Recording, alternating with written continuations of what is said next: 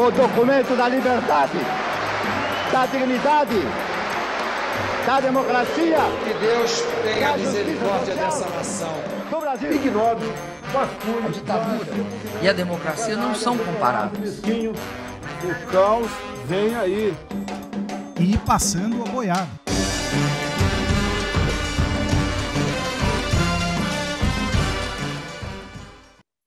Olá, começamos agora mais um Brasil em Questão. Neste programa, discutimos dilemas estruturais do nosso país e como esses desafios estão ligados à fragilização da nossa democracia. Eu sou Cleisiane Quintino e hoje o nosso tema é a participação dos militares na atual crise política brasileira. Nossos convidados são o professor Alcides Costa Vaz, do Instituto de Relações Internacionais da UNB, ele coordena o grupo de estudos de política e segurança internacional da UNB e, entre outras atividades, já foi pesquisador sênior do Centro de Estudos Estratégicos do Exército Brasileiro. Também recebemos a professora Adriana Marques, do Instituto de Relações Internacionais e Defesa da UFRJ. Ela é pesquisadora do Laboratório de Estudos sobre os Militares da FGV e coordena o Laboratório de Estudos de Segurança e Defesa da UFRJ. Muito obrigada por ter aceitado o nosso convite. É, eu quero começar, então, esse programa com uma pergunta ao professor Alcides sobre o papel das Forças Armadas. Né? A gente tem visto nos últimos anos é, que os militares têm atuado em diversas frentes, né? na segurança pública, como foi o caso do envio de tropas né, para garantia da segurança no Rio de Janeiro, no governo do Michel Temer, em missões de paz, como a missão do Haiti, no governo Lula, e na saúde pública, pra, com a nomeação do general Eduardo Pazuello para conduzir a política de combate à pandemia da Covid-19 no governo de Jair Bolsonaro. Afinal, qual é o papel das Forças Armadas? Né? Essa variedade né, de, de, de atuações, de finalidades, acaba aproximando as Forças Armadas da política, embora no discurso as forças se coloquem como distantes da política? Muito obrigado pelo convite, inicialmente, é um prazer participar dessa, de, desse programa, ao lado também da colega Adriana Marques, né? torna isso muito mais prazeroso ainda. É, as funções principais das Forças Armadas estão definidas na Constituição brasileira. E, primeiramente, acima de tudo, a defesa. A defesa. A defesa frente a ameaças preponderantemente externas. A Constituição também prevê as operações de garantia da lei e da ordem, ou seja, quando as Forças Armadas podem ser, ah, por solicitação das unidades federadas e com anuência do presidente da República, darem suporte a operações de garantia da lei e da ordem, e tem sido os episódios mais recorrentes em torno de crise de segurança pública, como foi somente no Rio de Janeiro, onde você citou, mas também no estado do, do Ceará, em diversos, em diversos momentos, as Forças Armadas têm sido convocadas a esse auxílio, vamos dizer, né? na, na, garantia da lei e da ordem, e mais recentemente, sobretudo, em questões mais vinculadas a crises no sistema de segurança pública, que nós sabemos que é um problema crônico no nosso país. Nós temos que diferenciar essas atribuições, que são atribuições previstas constitucionalmente. Tá? Do, do, por exemplo, de circunstâncias como a que você mencionou, a nomeação do general Pazuello para exercer né, o cargo de, de, ministro da Saúde, ou seja, a ocupação por cargos e funções né, dentro da, da, da, estrutura tanto do executivo quanto de outros espaços do Estado brasileiro. Quer dizer, isso difere, é uma questão de outra natureza. Aí diz respeito não tanto às, às funções precípuas das Forças Armadas, mas qual é a forma de envolvimento e engajamento de membros das Forças Armadas na estrutura de governo, em funções de governo, em funções né, em outros espaços do, do, do, próprio Estado brasileiro. Acho que é preciso nós separarmos né, essas questões pela sua própria natureza. Tá? Então, mas eu reafirmaria, gostaria de deixar bem claro, a defesa é a principal função das Forças Armadas. O restante é como nós falamos, é o que se segue. E é muito, é muito importante né, nós termos clareza sobre quais são as atribuições constitucionais. Tá? Mas aí, nesse caso, né, trabalhando em diversas frentes, como eu citei aí, né, na saúde, né, na segurança, nas fronteiras, A, Mas, as veja bem. Armadas acabam se aproximando da política? Olha, há um grande número de funções que as Forças Armadas prestam, por exemplo, apoio à infraestrutura. Eu me recordo de um ex-ministro, quando existia ainda o Estado-Maior das Forças Armadas, né? o ENCFA, o Estado-Maior Conjunto das Forças Armadas, é, dizer que as Forças Armadas e que o Estado, né, que o ENFA, parecia mais o Ministério da Infraestrutura pelo número né, de obras, de, né, na assistência a provimento de infraestrutura, campanhas de vacinação, ações educacionais, ou seja, as Forças Armadas terminam tendo um, um grande, uma grande presença, uma grande participação e prestam um serviço muito relevante no apoio à implementação de políticas públicas. Por quê? Porque normalmente estão presentes em muitos espaços do território brasileiro, onde outras instâncias do Estado não conseguem se fazer presentes de forma satisfatória ou de forma alguma. Tá? Então, essa, essas atividades não necessariamente terminam assumindo ou aproximando as Forças Armadas da atividade política. A atividade política das Forças Armadas, nós temos que entender, primeiro, na defesa dos interesses corporativos das forças. Isso pode ser feito de uma forma legal, clara, transparente dentro do processo legislativo. Tá? As, as, Forças Armadas têm seus interesses né, corporativos, a defesa da, da, da, sua carreira, dos seus vencimentos, da, da, busca de condições adequadas para o cumprimento das, das suas funções. Isso passa por, por um debate público. Então, tomar parte, formar parte desse debate público pelas instâncias constituídas para tal, eu vejo isso como um processo normal. Tá? As assessorias parlamentares das Forças Armadas né, fazem esse papel. Isso é. Há que diferir essa questão do fazer a política, do estar na política, no processo político, sendo Forças Armadas. Isso é uma outra história.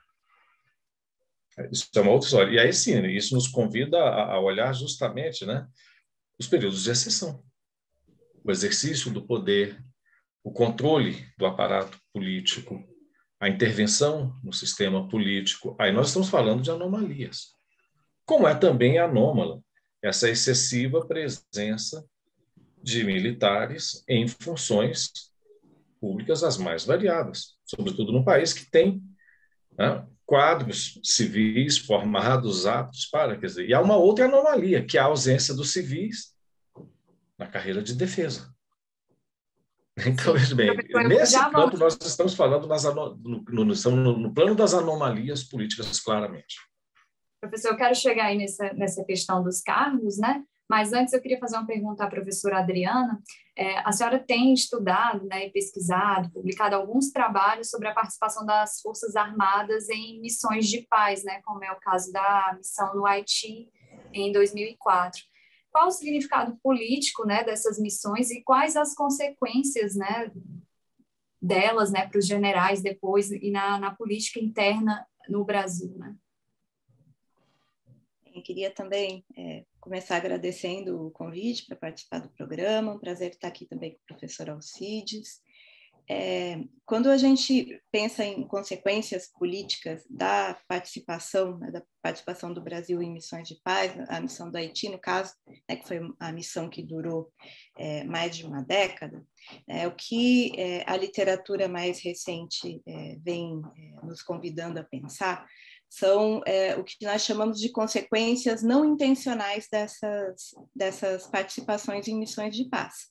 Então, não, não era a intenção do governo brasileiro, quando enviou a missão para o Haiti em meados é, dos anos 2000, que é, é, as consequências da participação nessa missão fosse uma intervenção maior dos militares na política.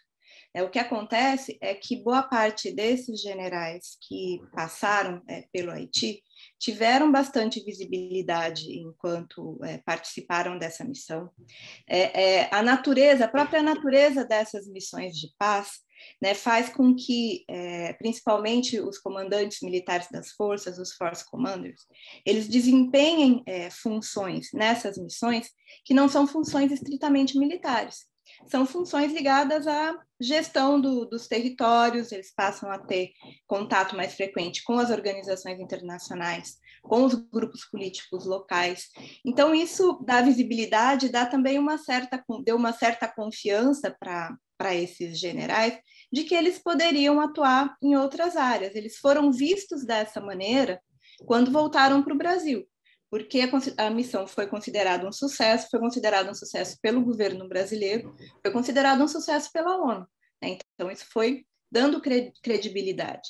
É, boa parte desses é, militares, quando voltaram para o Brasil, foram também desempenhar outras funções que não eram funções militares, mas que eram funções que davam bastante visibilidade. Então, boa parte deles, por exemplo, trabalhou no, nos grandes eventos que ocorreram no Brasil entre 2014 é, e 2016.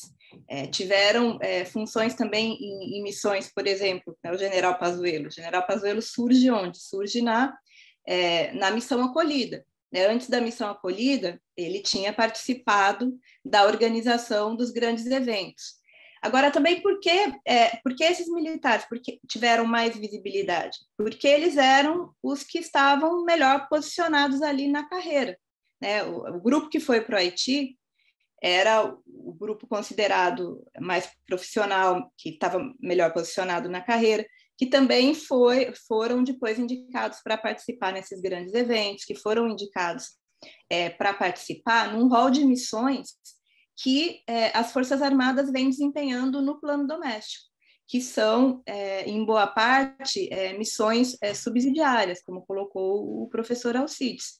Então, o uso rotineiro né, desses profissionais nessas missões também foi gerando né, como uma consequência é, não intencional, uma aproximação, é, é, não das Forças Armadas, mas desses militares, é, de atividades políticas, porque eles passaram, então, a ser vistos como, como quadros que poderiam é, ocupar funções de outra natureza que não natureza militar, porque tinham desempenhado bem funções que não são de natureza militar né, tanto é, na missão no exterior como é, em missões de outra natureza também aqui no país.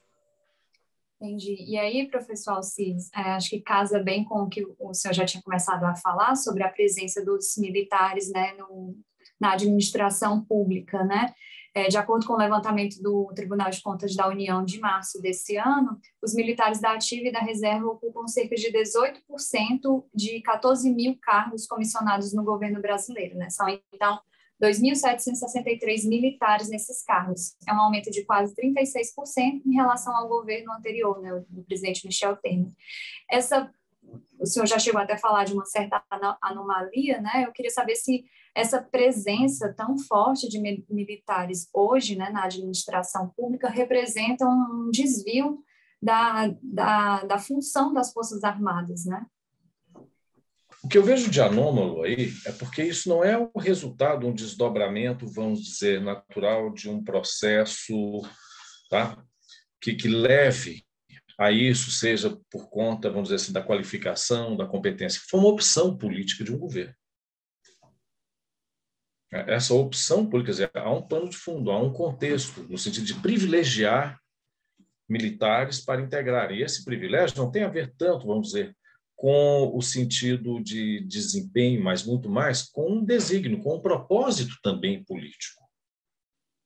Né? Que tem como contrapartida o que? Muitas vezes o desmantelamento de estruturas de políticas públicas, de estruturas governamentais. Então, vamos dizer, esse, esse fenômeno se dá em um contexto tá, que, de fato, discrepa completamente de toda a trajetória que o Brasil construiu a partir de 1985. E com a própria opção das Forças Armadas né, de se voltarem para as suas funções precípuas.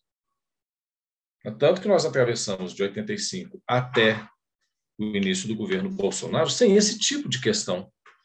Não se falava da, da questão do, do, envolvimento de militares na política de militares ocupando postos governamentais. A questão, quando se colocou, colocou pela via, pela via transversa, quando da criação do Ministério da Defesa em 1999, né, se colocou a questão da participação dos civis e do dizer, né, na, na, na, no Ministério da Defesa, como antes se colocou quando da, da, da, de todo o processo de restauração democrática a questão do controle civil sobre as forças armadas.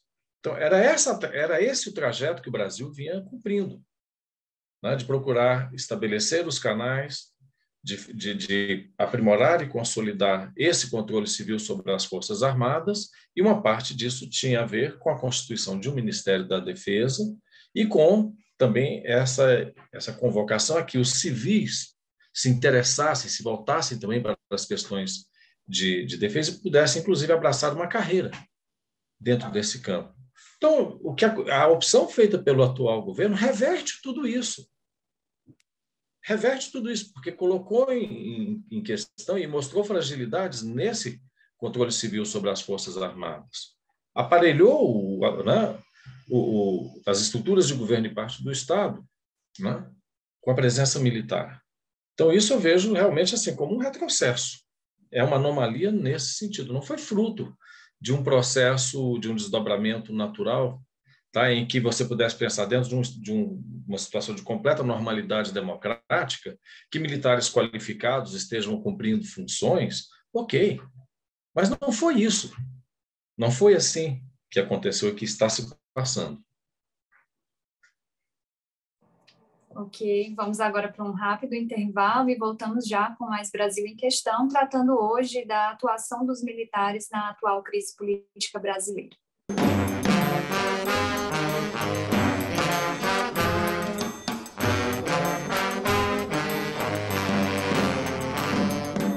E o programa Brasil em Questão está de volta falando hoje sobre a atuação dos militares na atual crise política brasileira. Nossos convidados são o professor Alcides Costa Vaz, do Instituto de Relações Internacionais da UNB, e a professora Adriana Marques, do Instituto de Relações Internacionais e Defesa da UFRJ. Então, professora eh, Adriana, eu queria voltar falando com a senhora é, sobre essa crise né, política. Né? Vamos adentrar mais nesse assunto da, da crise política. Né? A gente viu aí ao longo do governo de Jair Bolsonaro sucessivas trocas de ministros, mudanças no comando das forças, crise sanitária sem precedentes, né, desemprego, aumento da inflação e por aí vai, né? Esses são alguns exemplos, né, é, da crise política e também econômica do Brasil. Queria saber com a senhora como que a gente chegou até aqui e se tem um, um start, né, um ponto da, da participação específica dos militares nessa crise. Bem, chegamos até aqui num, num, primeiro momento porque esse senhor foi eleito. Né? Então, quando ele foi, ele foi eleito, já era um prenúncio do que iríamos passar, porque é, o, atual presidente da República não pode ser acusado em momento nenhum de ter mentido, de ter enganado o eleitorado ele está cumprindo o programa de governo. O programa de governo era esse. Né? Ele tem, tinha posições né, em relação à agenda em relação à economia já estava colocada e em relação à saúde também, desde o começo da pandemia, ele deixou muito claro qual era a posição dele. Né? Estamos sofrendo as consequências, né? mas ele sempre foi muito transparente, muito claro né, em relação a isso é, o papel do, do, dos militares nessa crise, é, o papel dos militares que estão no governo, né, que, que aceitaram ir para o governo e que foram muito alegremente né, para o governo e que tiveram, estão no governo os que são da ativa, né, com a anuência do, dos seus comandantes e do Ministério da Defesa, né, porque esses, esses, a gente não, não tem números muito claros, né, os números mudam um pouco de, de quantos né, militares da, da ativa e da reserva é, nós temos no governo, mas nós temos que ter clareza de que eles, se eles estão participando de funções é, que não são militares, eles têm a anuência do, dos seus comandantes, né? isso é importante deixar claro. Então, há um certo grau de, de responsabilidade é, é, da instituição é, em ter liberado né, esse número de, de, de profissionais para estarem ocupando funções que não são é, de natureza militar. Então, é, onde, onde, ou, onde os problemas são mais graves, né, e a gente vê também o número de, de militares que, que estão nessas, nessas funções, quer dizer, eles têm uma certa é, responsabilidade né, pela, pela crise. É, em relação é, aos militares que foram é, para o governo, em relação ao fato de que, é, quando esse governo começou também, né, houve o general Vilas Boas, quando era o comandante é, do Exército, não sei se, bem, boa parte de, da, da, população deve, que, que, da, da população não, mas da audiência né, que está nos assistindo deve se lembrar que na época é, em que ainda o, o atual presidente era candidato, o general Vilas Boas recebeu né, todos os, os candidatos a, a, e candidatas à presidência da República, fez uma sabatina né, com, com os candidatos para perguntar sobre temas que ele considerava é, importantes para o país. Então, não é, não, não é também é, uma, uma responsabilidade que se restringe só aos militares que estão no governo, mas quando a gente tem o comandante da, do Exército, né, que é uma situação totalmente atípica. Eu acho que isso nunca aconteceu no Brasil. Né? Você ter o comandante do, do Exército sabatinando né, candidatos à presidência da, da República, né, significa que a instituição tem algum terá algum comprometimento com, com o, o candidato que, que iria assumir a presidência da República, e foi o que aconteceu. É, o general Vilas Boas, isso ele disse no depoimento que deu ao professor Celso Castro, que quando é, o presidente é, foi eleito, eles tiveram é, uma conversa, e que foi, por exemplo, ele que sugeriu que o general Heleno é, fosse para o gabinete de segurança institucional, foi ele que indicou o general Fernando como é, ministro da Defesa, então, assim, há, há uma, uma simbiose, digamos assim, entre né, é, o, certas figuras importantes né, e esse governo. É, e essa simbiose se dá para o bem ou para o mal. Né? Se fosse um governo de, de grande, grande êxito, provavelmente né, a instituição iria capitalizar esse êxito, não é o caso.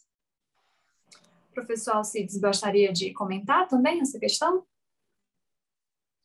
Muito rapidamente, quer dizer, eu acho que, ah, de certa forma, há também um sentido de instrumentalização das Forças Armadas. Essa via em que né, alguns militares são né, destacados, indicados né, pelo próprio comandante do Exército, como nos relata a professora Adriana Marques, e por meio desse depoimento né, do próprio general Vilas Boas ao professor Celso Castro. Então, e você tem aí é, é, um canal, essa simbiose de que ela fala, mas que me parece também que cada vez vai ganhando uma conotação mais clara de que havia também o, o, propósito não somente de recrutar militares para a estrutura de governo, mas de instrumentalizar as forças armadas em um projeto político, dentro de um projeto político. Isso é muito paradoxal, né? porque durante a, a, a campanha política nós escutamos sempre falar né, aquela coisa de que ah, o discurso, né, do atual presidente quando candidato era o de que o Brasil corre um risco de se transformar numa Venezuela. Né? Sempre essa, né, esse esperto né, impingindo medo às pessoas. Quer dizer, mas o que, o, que se, o que se faz aqui, muito embora numa escala muito menor, não difere muito do que aconteceu na Venezuela também quando o Chaves também faz essa mesmo, esse mesmo procedimento né, de cooptar militares, depois de cooptar as forças armadas, para um, projeto, para um, para um projeto político. É, essa questão da instrumentalização, da simbiose, é, me remete à próxima pergunta que eu quero fazer para a professora Adriana, é que ao longo da história, né, presidentes aceitaram um acordo implícito né, de não intervir nos currículos pedagógicos né, das academias militares, ou buscaram o apoio das Forças Armadas quando se viram é, enfraquecidos né, politicamente. Né? E, e há também assim um certo melindre né, em, em, em, punir, não sei se seria a palavra correta, mas a gente viu agora no caso da CPI, né, que houve um, é, análises né, que saíram na imprensa falam de uma certa pouparam né, os militares na, na responsabilização dos rumos né, da pandemia no Brasil. E aí eu queria saber a que, é que se deve a esse, esse, esse melindre, né? A República e a democracia brasileiras, elas são dependentes das Forças Armadas? Bem, historicamente, né, esse processo que, que você colocou desse melindre, né, o professor Eliezer de Oliveira tem um termo que eu gosto muito, que é temor reverencial. Ele fala, né, um temor reverencial, né, em geral, da, da classe política é, em relação é, aos militares. Isso é, esse é um processo histórico. Né? O que é, a gente é, percebe é, nos últimos anos é que é, até o, o a deposição da, da presidenta é, Dilma Rousseff, a gente tinha um determinado padrão de relações civis militares no Brasil, né, onde os militares se mantiveram. A gente teve é, dois impeachments durante a nova República, e se a gente lembrar o primeiro impeachment do, do presidente Collor, é, não houve, é, a gente não, não ouviu é, a voz né, dos comandantes militares, e não havia, na verdade, ministros militares na época, porque ainda não havia Ministério da Defesa. Né. Quando é, é, da crise política que se instala a partir da, da reeleição da, da presidenta Dilma, a gente passa a ouvir né, é, o, pre, o, comandante do Exército, mais frequentemente, se posicionando sobre é, questões que fugiam à sua alçada né, o comportamento do, dos, dos, comandantes militares no segundo impeachment foi muito diferente do, do primeiro, né, da, da nova república. Então, é, no, e a partir do, do, do governo Temer, né, a gente já vê claramente né, uma, uma situação onde né, é, as Forças Armadas passam a ter um papel bastante importante no desenrolar da crise política.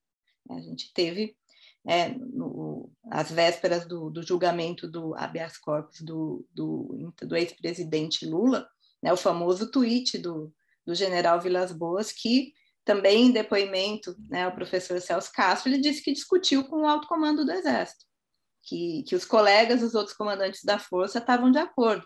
Então, a gente já vê uma, um, um, uma situação né, onde é, as Forças Armadas estão se excluindo ali em, em assuntos que não dizem uhum. é, respeito é, à defesa nacional. É, então, é, eu acho que, é, do ponto de vista de, de controle civil sobre né, as Forças Armadas nos últimos anos, a gente tem uma situação bastante delicada, retrocedemos muito. Uhum. Né, em relação a um padrão que a gente via é, na nova república. Eu acho que boa parte dos cientistas políticos agora dizem que a gente já não vive mais né, aquele padrão de relacionamento da nova república, a gente vê uma outra situação, né, onde é, é, uma parte né, é, dos militares se, se envolveu, se engajou num determinado é, projeto político, e hoje a gente vive uma situação onde eles são né, parte, do, parte do problema que nós temos que enfrentar né, porque, é, de fato, na, nas eleições de 2022, a gente viu ontem né, o, o, o ex-juiz é, é, Sérgio Moro, que vai se, se, candidatar a alguma função, algum cargo nas eleições em 2022, e o movimento que ele fez foi convidar generais para a sua filiação. Né? A gente não, não, ouvia falar disso há alguns anos atrás, uhum. aliás, a gente nem sabia o nome dos generais, né? Acho que na, na, Nova República nunca se soube tanto o nome de general e nunca a imprensa procurou tanto saber e, e também não nos perguntou né, tanto sobre como é, os generais pensavam, o que pensavam, o que iam fazer, se vai ter eleições em 2022. É, então, acho que tudo isso já, já é um, um indicativo da, da situação que, que vivemos. É, a nossa democracia está fragilizada né, e, e, encontrar né, um, um novo lugar né, para os militares, né, passado né, essa passada essa fase, é uma questão sobre a qual temos que conversar. É, sobre isso, o, ex-presidente Fernando Henrique Cardoso tem até uma declaração, né, que ele disse que é, era possível medir a saúde de uma democracia pelo desconhecimento dos nomes dos generais, né, ele, ele avaliando ali na década de 90 hum. como a, a, democracia brasileira estava saudável. É, mas já finalizando aqui o nosso programa, queria fazer uma última pergunta, e aí para os dois, mas começando com o professor Alcides, né, É, próximo ano é ano eleitoral, né? Então, eu queria saber o que, que a gente pode esperar dos militares nessa eleição de 2022, né? E queria saber também se a gente corre risco de uma ruptura com a democracia ou se a gente já até teve essa ruptura, né? Eu não iria tão longe a ponto de dizer que houve uma ruptura. Houve um retrocesso. Eu concordo integralmente com a professora Adriana Marques no que diz respeito às perspectivas, né? quanto ao papel, atuação das Forças Armadas, quer dizer, ela, né? a, a sua função principal foi deslocada. As atenções se voltaram mais para as Forças Armadas na política do que as necessidades de defesa do Brasil. Isso também é uma forma de retrocesso sobre a agenda de defesa do Brasil. É, num contexto de um ano eleitoral, a minha expectativa é que as Forças Armadas retomem mesma perspectiva que retomaram em momentos cruciais para a nossa democracia. Elas tiveram um papel importante na transição em 85, quando respaldaram a posse do presidente José Sarney, quando o comandante do Exército, naquele momento, né, também né, vai a campo disso. O vice civil será empossado. Foi um momento importante, foi um momento delicado. Como foi também muito importante que na primeira transição de poder, o primeiro teste de transição de poder que a democracia brasileira viveu, foi com a eleição e posse do presidente Lula. De fato, o controle do Estado, o poder, o, né, o, o centro se desloca para outro campo, para outra força. E as Forças Armadas tiveram um papel e um comportamento exemplar. Nenhum envolvimento, como também foi, como muito bem lembrado, no impeachment do presidente Collor. Como foi, como foi em todos os processos eleitorais até a última eleição, quando claramente elas tomam partido, elas entram em campo. Tá? Então, acho que isso é o que nós não esperamos que se repita na próxima eleição, mas nós estamos falando das expectativas. Professora Adriana? É, você falou de uma frase do presidente Fernando Henrique, né? E tem uma frase do, né, uma frase do, do cientista político é, Adam Tversky, é, que ele diz que é, nós vivemos numa democracia quando nós não temos que nos importar com, com o que os militares pensam. Então, é, as minhas expectativas para 2022 é que nós não, tenha, não tenhamos que nos preocupar com, com vetos né, de, de militares a determinadas é, candidaturas, né, que o processo é, ocorra, né, com as urnas eletrônicas aí funcionando desde, né, com, inclusive, né, é, já há algumas décadas, né, inclusive na, nas últimas eleições, né, né um candidato que foi eleito e a eleição é, foi aceita. É, e espero é, também que é, os candidatos à presidência da, da República dediquem é, um tempo maior né, às discussões sobre é, defesa nacional, né, que é um tema que é pouco discutido e acabou ganhando contornos bastante dramáticos né, nos últimos anos, é, não, não por conta do que as Forças Armadas deveriam fazer, mas por conta é, do que os militares é, é fizeram né, nos últimos anos. Então, é retomar né, o, o, eixo da discussão, né, voltar a se discutir é, defesa nacional, é, e para se voltar a discutir, para que possamos voltar a discutir defesa nacional, vamos ter que, num primeiro momento, discutir qual é né, o lugar e qual é o papel dos militares num regime democrático. Né? Porque, de fato, a gente só pode discutir é, defesa nacional em bons termos quando a gente tem forças armadas, de fato, subordinadas ao poder político. Né? Então, esse, esse eixo vai ter que deslocar, né? não dá mais para ficar discutindo né, urna eletrônica, voto impresso, é, vacinação. Né? A gente tem que discutir é, outros temas, e para a gente poder discutir outros temas, né, o Exército tem que voltar a ser o grande mudo que foi durante uma, uma parte da, da nova República. Bom, nosso tempo acabou, mas gostaria muito de agradecer ao professor Alcides, né, e à professora Adriana também por participarem aqui desse debate, um assunto que eu acho que está na ordem do dia, né, ou na ordem do ano, principalmente para o próximo ano. Muito obrigada, professores. Obrigado pela é. oportunidade. Obrigada.